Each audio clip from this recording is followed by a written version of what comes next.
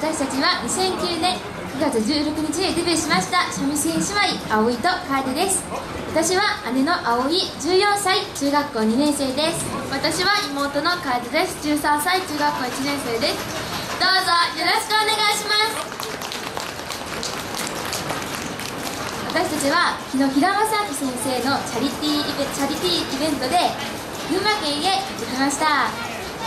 群馬県はすごく寒かったんですけどなんかアイス2個食べたりあとは本番前本番前とか行く時とかに時間があったのでお店に寄ったり帰りはアウトレットに行ってきたりしました。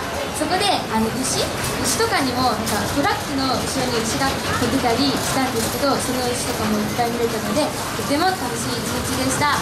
でもなんかこれからとても寒くなると思いますので皆さん寒さには気をつけてください。